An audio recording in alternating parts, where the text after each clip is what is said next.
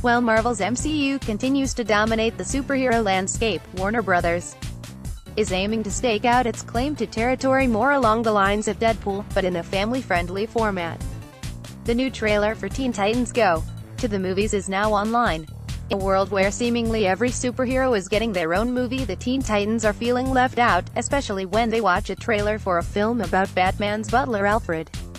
De facto Titans leader Robin, Scott Menville, is determined to remedy the situation and be seen as a star instead of a sidekick. If only they could get the hottest Hollywood film director to notice them. With a few madcap ideas and a song in their heart, the Teen Titans head to Tinseltown, certain to pull off their dream. But when the group is radically misdirected by a seriously supervillain, Will Arnett's Slade Wilson, Deathstroke, confuse him with Deadpool at your peril, and his maniacal plan to take over the Earth, things really go awry.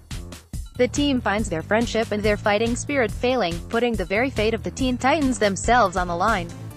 With jokes about the Green Lantern film, admittedly not perhaps the freshest material, and the usual chaos from the Teen Titans, the movie will be in cinemas on the 3rd of August. Which, given that Ant-Man and the Wasp arrives the same day, is either canny counter-programming or a recipe for disaster.